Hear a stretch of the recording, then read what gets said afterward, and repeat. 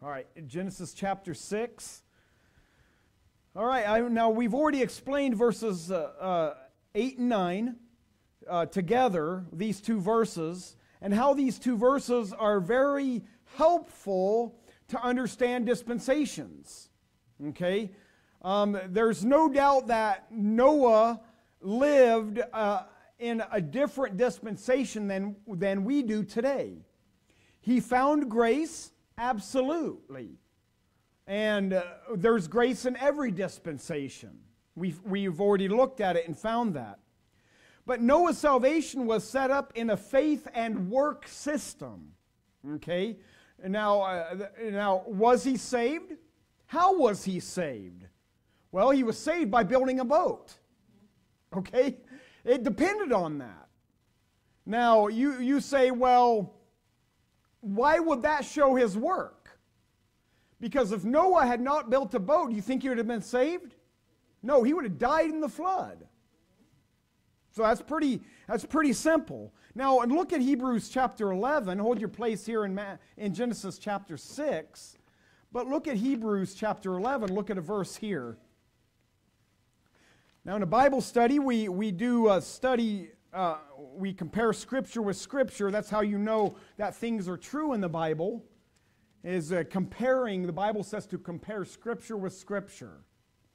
And so now, Hebrews chapter 11, it talks about Noah here. Now, some people who deny dispensational truth or deny dispensational salvation, when they look at Hebrews 11, they'll claim that the Old Testament saints were saved by faith. And that's true but something accompanied their faith. Okay? Now, in order for you to be saved, all you have to do is accept Christ as your personal Savior. And that takes care of your salvation. You're saved by grace through faith and not of works, lest any man should boast. But it wasn't that way with Noah. Noah lived under a, a different dispensational period of time. Okay? And so uh, their faith was based on what they did or what they did not do. Okay? Now, when you're saved by grace through faith, your works are not added. Now, why not? Because the only work that matters is what work Christ did on the cross. So, what you have to remember is that when Noah was there, Christ hadn't died on the cross yet. So, salvation could not been grace only, no works involved, like yours is. Does that make sense? All right, so you, we've got to keep that in mind while we're looking at that. Christ hadn't died, so it's uh, there was no work of Christ being done. So in Noah's time, Christ had not yet died, obviously. So Noah's works were involved with his faith. When he built an ark for his salvation, that took five years of hard labor. He had to work hard to do that. Now look at Hebrews chapter 11, look at verse 7. By faith, Noah, being warned of God of things not seen as yet, in other words, the flood hasn't happened yet, moved with fear, prepared an ark to the saving of his house, by the which he condemned the world and became heir of the righteousness which is by faith. Faith, right? And so it says that he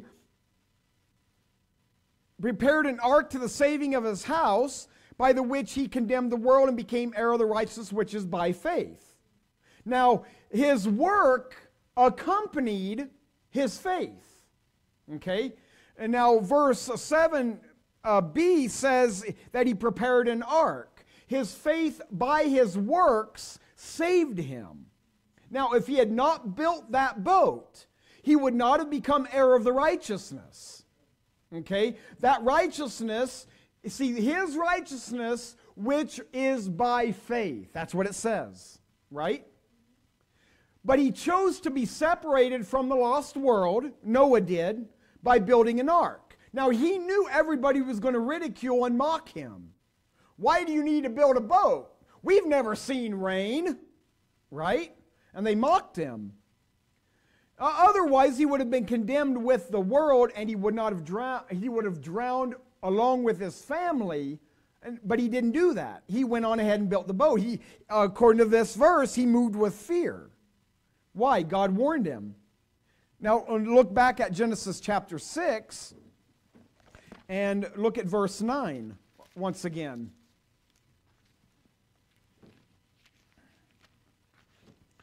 He says, These are the generations of Noah.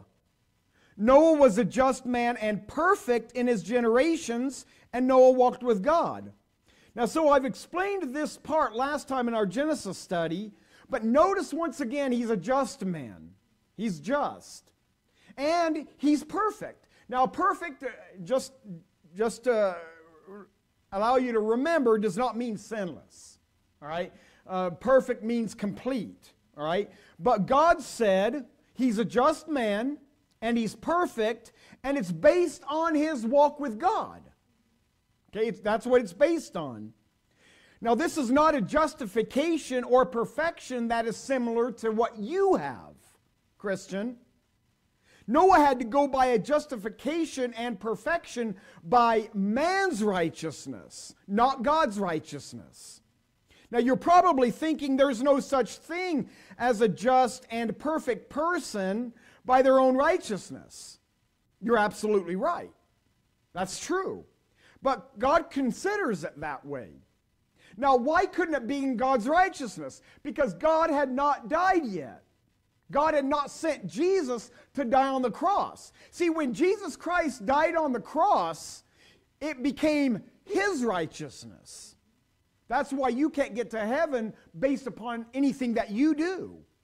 It, it has to be, why he did it. he's, the Bible's, now we'll, we'll look at the scripture, but it says that Christ is the end of the law for what? Righteousness. See? And so Christ was the end of the law for righteousness. That means it, your righteousness isn't based on anything. That's why you can accept the work of Christ did on the cross and get to go to heaven and it's not by any works that you have. So God considers it that way. God judges them by man's righteousness, not his righteousness. Why? Because Christ had not yet died on the cross. When Christ died on the cross, he made a legitimate standard of righteousness for the world. What's the standard? Christ's righteousness, right? There was no Christ's righteousness before Christ died. It was all based upon man's righteousness that got him somewhere. And so the legitimacy and standard for righteousness was Christ's blood. That's what he. Now look at Luke chapter 1. Luke chapter 1. I'm trying to show you that there was a different dispensation where Noah's righteousness was counted for him doing the right thing. It was grace plus his works, his righteousness. But it's not that way today. Thank God, God made it easy for us. Luke chapter 1, and look at verse 6. Now, now let's back up to 5, get the context. There was in the days of Herod, the king of Judea, a certain priest named Zacharias of the course of Abia, and his wife was of the daughters of Aaron, and her name was Elizabeth. Now we know the story. But look what God says here. And they were both righteous before God. You see that? Walking in all the commandments and ordinances of the Lord, blameless. You see that? They were blameless. The Bible considers Zacharias and Elizabeth blameless based on their walk with God, just like he did with Noah. And, and he says they were both righteous before God. Now, it wasn't righteous because it was God's righteousness. No, it was their own righteousness. And notice, this is before Christ was even born. All right? Now, now turn to Ezekiel 14. Ezekiel chapter 14. Ezekiel 14. And see now we're to what we're going to do with Ezekiel 14 we're going to contrast this with Romans chapter 10. So uh, turn to Ezekiel 14 and Romans chapter 10, if you would. Now, there are many, there, there's too many verses in the Bible that prove this, okay? We're just picking two out. All right, but, but notice what it says here. Ezekiel 14 is the bombshell to prove this. All right? Uh, look at Ezekiel 14 and verse 14. Ezekiel 14 14. Though these three men, Noah, Daniel, and Job, were in it, they should deliver but their own souls by whose righteousness? Christ's righteousness? No, their own righteousness. So Noah, Daniel, and Job, they had their own righteousness. Okay? And saith the Lord. Now, that's not in there once, that's in there three times in this chapter. Okay? Uh, it's there in verse 14, and verse 20 talks about it. And then it says, and these three men, uh, it's, it's in there like three times. Oh, verse 16, 14, 16, 18, and 20, actually. Talking about all three of these men. Now, now, now see that? Now, it, it, uh, once again, it does not say God's righteousness. It says it's their own righteousness. And notice they delivered their own soul by their own righteousness. You and I can't do that. Amen? We have to have Christ's righteousness in order for us to get to heaven. We have to rely on His righteousness. Now, that's the opposite of what Romans chapter 10 says. See, you Christians are not saved that way. You're saved by Christ's righteousness, not your own. Romans chapter 10, verse 3. For they, being ignorant of God's righteousness and going about to establish their own righteousness, have not submitted themselves unto the righteousness of God. You see that? See, God condemns those today who rely on their own righteousness. Why? They're as filthy rags, it says it, right? The Bible says that in Jeremiah. Their righteousness are as filthy rags. And so God condemns that. Why is that? Look at verse 4. For Christ is the end of the law, for righteousness to everyone that believeth. That's how you're saved. Therefore, Christ, when he died on the cross, he became the end of the law for righteousness. You rely on his righteousness now. See, the indication here means that there was a time period of the law for righteousness. The Mosaic law, it was based on their righteousness. But what about Mo? Now that was during Moses' time. Now Noah was before the Mosaic law. And Noah, he had to go by the law of his conscience and the laws God set up with Noah in chapter 9 of Genesis. All right? So right now, if, you, if you're saved, you're, it's because you're saved not by your own righteousness, but what Christ did on the cross. Noah, see, he had to count on his own righteousness too. So did Abraham. So did Moses. Right? That's why it says, and Abraham, it was imputed to him for righteousness. See, he had to do something for it. All right? Just obey God. Love God enough to obey Him. Now, back to Genesis chapter 6. Now, this teaching is not taught in majority of Christian churches today, and even in really independent fundamental churches. Because what are we talking about? We're talking about salvation in two different dispensations. Noah, God told him, build a boat if he didn't build a boat, he would have been condemned with the rest of the world and would have died in the flood, right? We wouldn't have called it Noah's flood. There would have been no Noah, right? But he, he built a boat to the saving of his house. It says there in Hebrews 11. And so that's, that, that's why Christians today are very shallow in doctrine because these things are not taught. Uh, uh, uh, uh churches are they don't get too deep into doctrine anymore. Why? Doctrine divides, and it does. It's going to show you whether you're a Bible believer or not. If you believe the Bible, what does the Bible say? Is the Bible uh, the, the uh, final authority in all matters of faith and practice in your life? If it's not, then you're not a Bible believer. Amen? And that's how you know. All right, now, uh, now we're done with that. Genesis chapter 6, look at verse 10.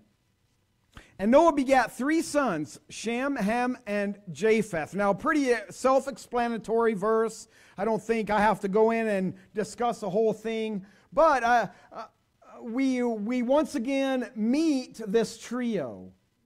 When listed together, they're always listed in this order. Now, this is not the order of birth, okay? Now, that's very important. Shem is not the firstborn. Okay? Now, let's look at that for a second. But when listed together, God always mentions Shem, Ham, and Japheth, always in that order. Look at chapter 5, verse 32.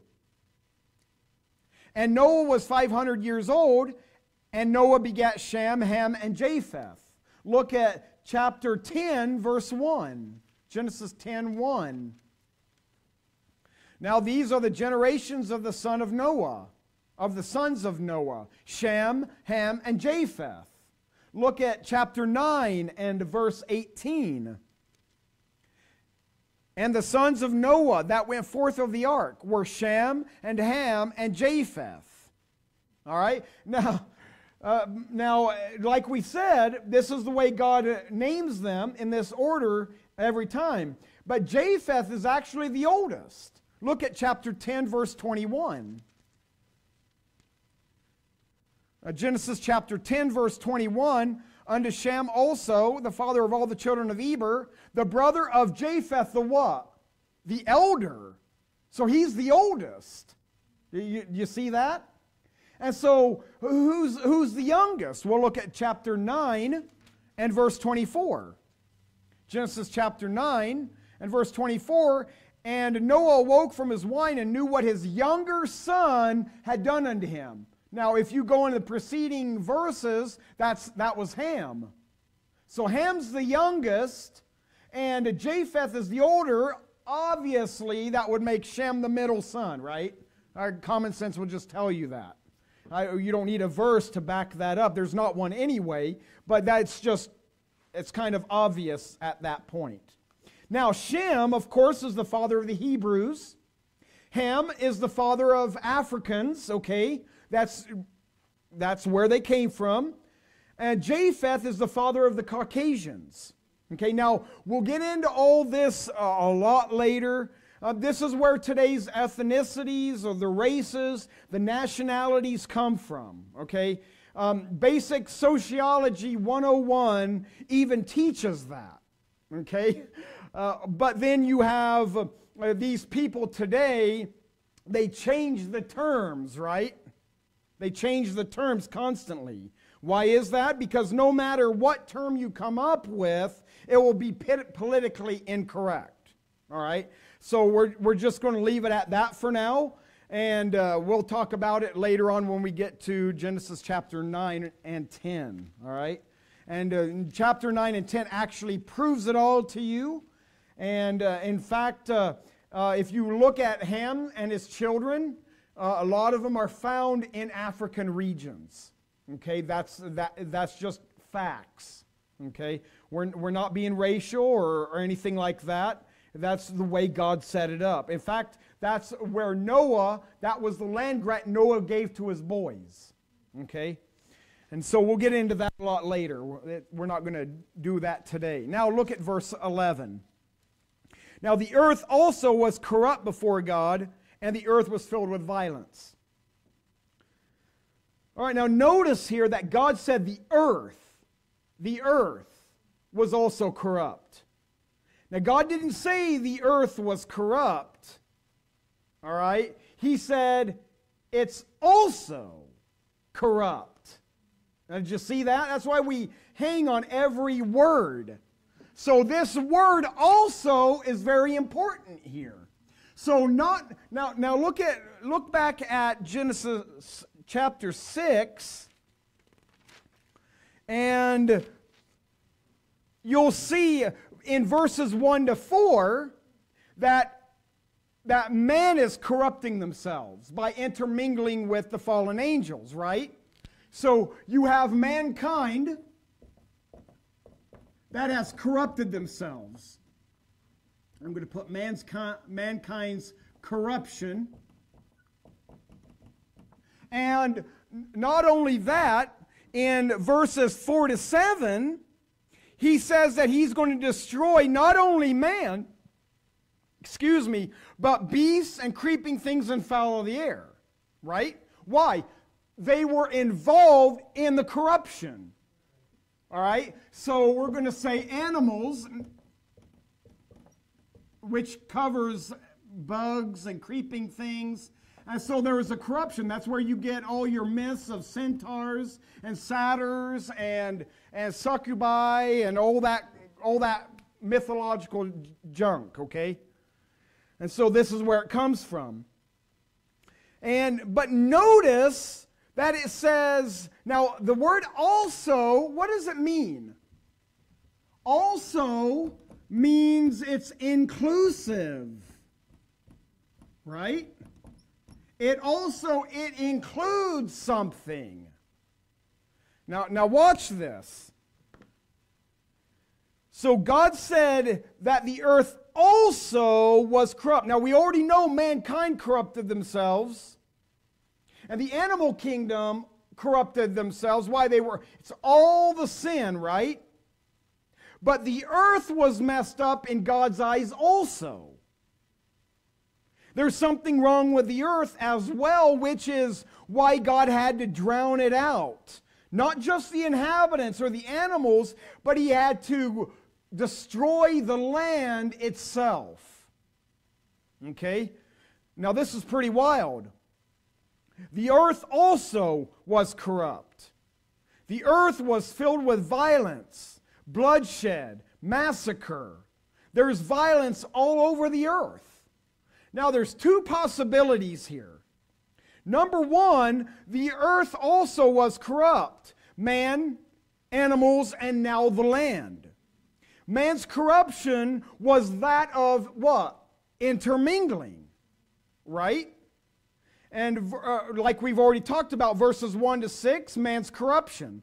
Verses 4 to 7, animals were part of the intermingling possibility. Or, or, and now it says the earth also. So something was going on where either mankind or the angelic beings was messing with the vegetation. All right? You, you ever had something like chloroform or something, something plant-like uh, put into your veins? I've heard of people that have injected plant life stuff into their veins. And uh, what is all this plant-based stuff in, that you're eating now? And how you see how all that's well, that's uh, for vegetarians. Fine, I'm not talking bad about it. But all this uh, plant based stuff is coming about now. And it's, it's a, very, a very real, uh, it's a huge thing right now. I work at a grocery store, so I see a lot of it coming in.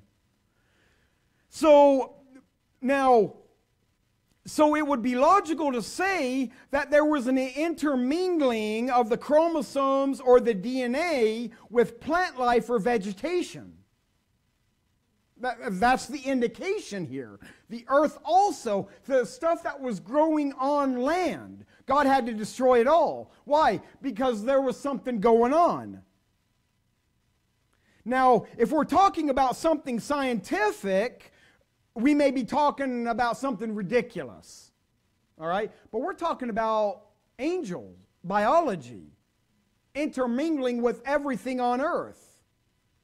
Okay? There is fornication and adultery amongst everything. You already have the mutants and the giants, the men of renown, going around. How far fetched is it to say that trees could walk and talk? Where do you think they get that stuff in Lord of the Rings about Treebeard? And it's moving through the forest. Where do they get that stuff? Because, see, that's part of mythology where it, it was it's possible it could have actually happened Okay? Now that's the, the first thing. You see, the imagination of man is endless. Once you go to one step with fornication, you'll go to the next thing where same sex marriage. And then you go to the n- next step, which is transgender. And then you go to the next step, bestiality. What's next? See, eh, man's imagination eh, goes as far as the devil will allow it to go. And it never stops, it just keeps getting worse and worse and worse. And not only that, but see, this is angels having to, and they're teaching mankind to do all this. Yep. Yeah, we have uh, uh, the, the human trafficking, that's a whole different thing there. But see, that's, that's all part of it. So now, now the second interpretation to this is that it could be based on, upon violence, not intermingling. Not intermingling the DNA of man with, with plant life, it could, but it could be through the violence also. Now, verse 11 does say the earth also was corrupt before God, and the earth was filled with violence. So the earth, now, now notice this. Now think about this. The earth was soaking up too much blood from the violence. Now, I'm going to prove it to you. Scripture talks about the land. Now, we can see in America how corrupt it's becoming. Now, why would we say that, that it's becoming worse and worse? Because we look at the crime statistics every year and see that it's been going up every year every five years, right? It just, the crime rate keeps going up. Crime was very high during the COVID situation. And when God says the earth was corrupt, it's because He's looking at the murder, the crime, the violence that's being shed throughout the earth. Right? And look how bad it is today. Now, now turn to two places. Turn to Genesis 9 and Numbers 35. Genesis chapter 9 and Numbers 35.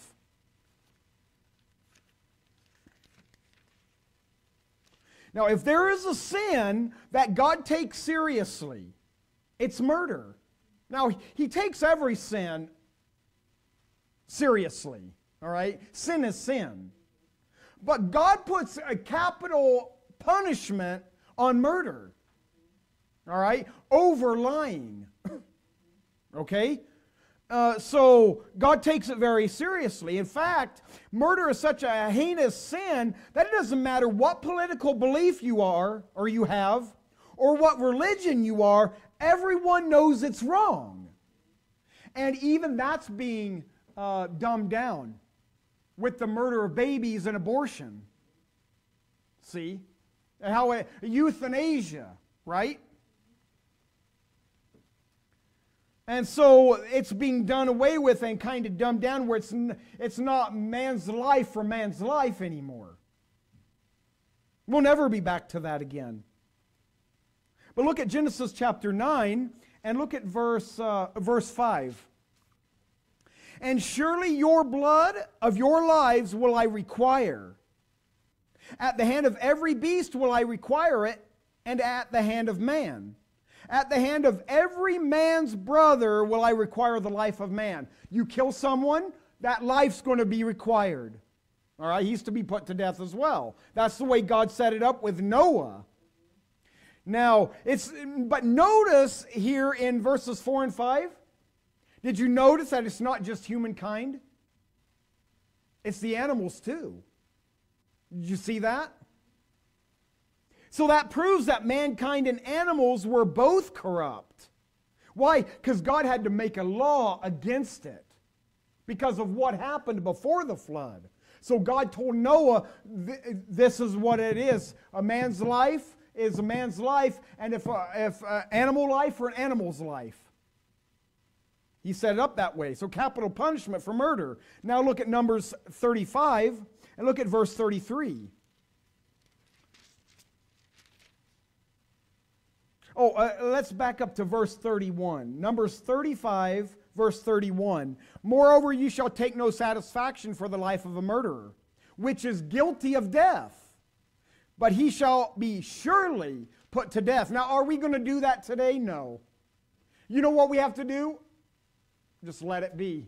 Let the court system handle it, and if they can't handle it, and they let him go free, we have to watch our backs, right? Because it's not yours and my job to go and take that life. And we'll get thrown in prison too, right? But now look at verse 33. So ye shall not pollute the land. Now notice, what's going on with the land? It's because of all the murder in the land. It pollutes the land. So ye shall not pollute the land wherein ye are. For blood it defileth the land. And the land cannot be cleansed of the blood that is shed therein, but by the blood of him that shed it. You know how to cleanse the land from the blood? By killing the one that killed the person. That's the only way to clean the land. Why is America in the shape it's in? Because America's not been doing that. Look how many years. And uh, remember what happened with Abel when he was murdered by Cain? It says that the earth cried out to receive his blood. His blood soaked into the, into the earth and it cried out for, for Abel's blood. Remember that?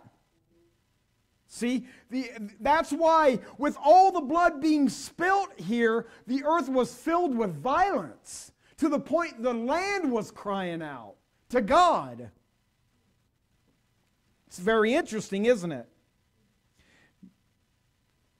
Not only that, but that but the Cain murdering Abel, that was the first public crime. It was murder. Genesis 4 verse 10. It cried out for Abel's blood being shed. And so the earth was starting to be corrupt. That's why God had to curse Cain for the ground that he's producing from. That's why he had to do that. Think about how much the earth is being cursed with all the blood in the land. And that's why there's food shortages today. Why is that? Uh, sure, people don't want to work but it's because the land is, is being more corrupt because of the violence done with it. And we just let it happen. Our government just lets it happen.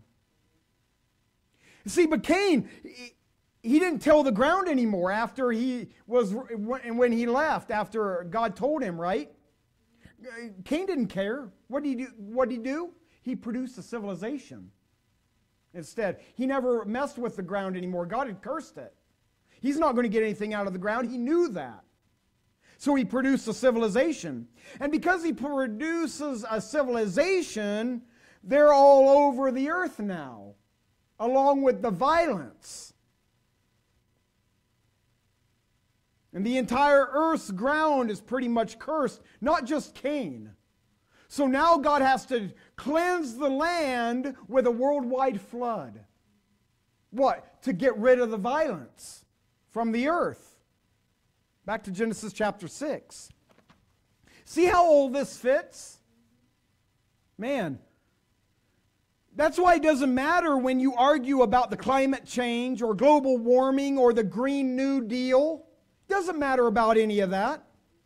It doesn't matter how much of the earth you protect. You'll never protect and produce a perfect earth while sin is involved you have to get rid of sin first.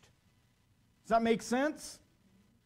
When sin is gone, everything will be fine. But when will sin be gone?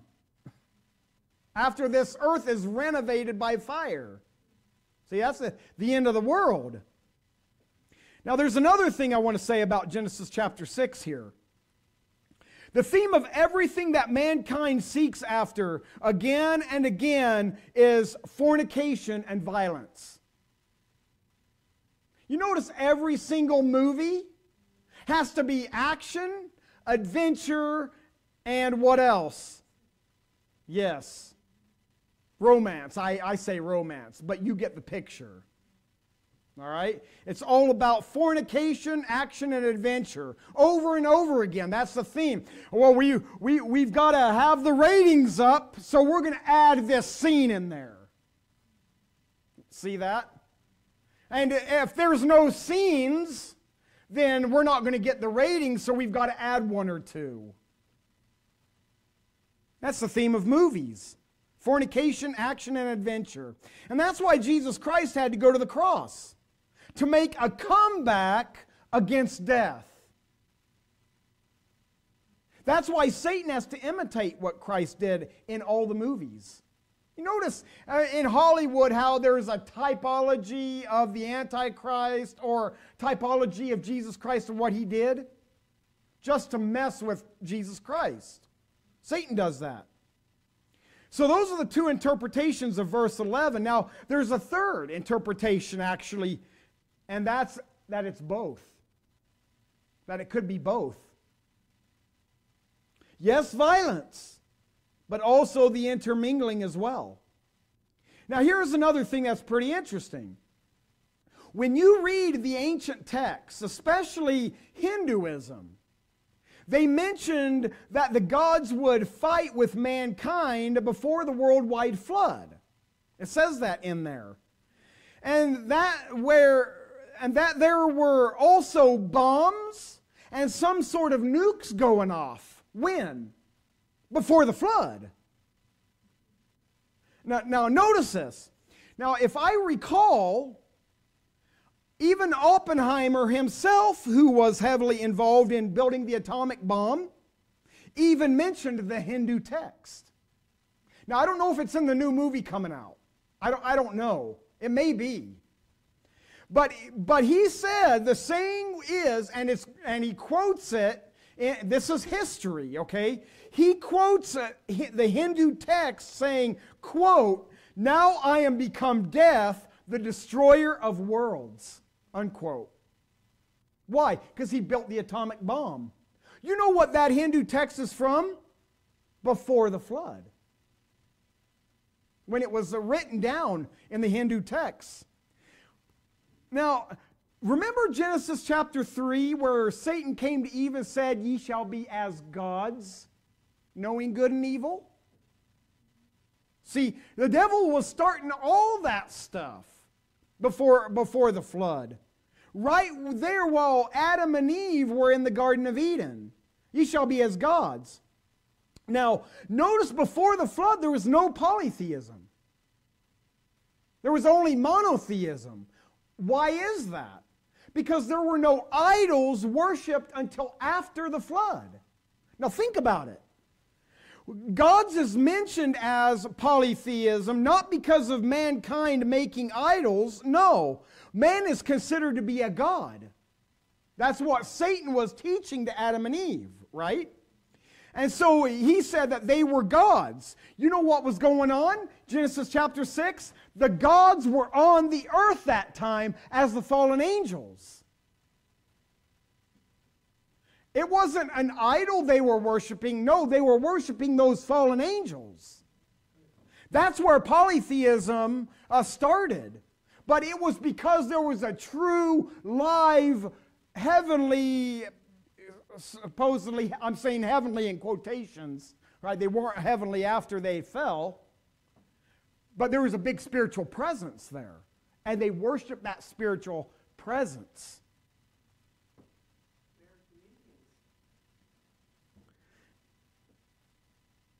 And so there were gods coming down and humans trying to be gods. And that's why it makes sense when you read mythology. Where did it all come from? From those fallen sons of God. Now they're trying to say science is a God. They say humanism. You are a God. That's what it says. The New Age teaching is there's a God inside you that you can attach yourself to. That's what, that's what they teach. You don't have a God living inside you unless you're saved. You've got the Holy Spirit, but that doesn't make you a God. You're still a sinner. All right? And anything righteous is because of what He's done, not because of what you've done. So you're not a God. You, when you get to heaven, you're not going to be a God. He is going to be the God. If you're going to become a God like uh, the other religions say that they will be, I think the JWs are the ones that say uh, they hold the belief that they're going to be gods one day. But they're not going to be gods. They're going to still be bowing their knee to the Lord Jesus Christ if they're saved, if they even make it there. You see, this is the devil's doing. This is how the devil deceives. By, think, by making you think that you're going to be a God. Genesis chapter 4 through 6 is the best chapters to look at for current events today. If you want to know what, where we're headed as a nation, right here in Genesis chapter 4 through 6. Everything is a copycat, it's a pattern. It's like, a, like Enoch's rapture type of the church being raptured up. Noah his walk with God, type of the tribulation, having to go through the tribulation through the flood. It's a typology, it's a picture. Noah's generation, everything is imitating exactly as today. And what you see in Genesis, you actually see in Revelation. Everything's imitated in Revelation. And it hadn't even happened yet. And and, Christian, you have the Word of God in your lap to show you.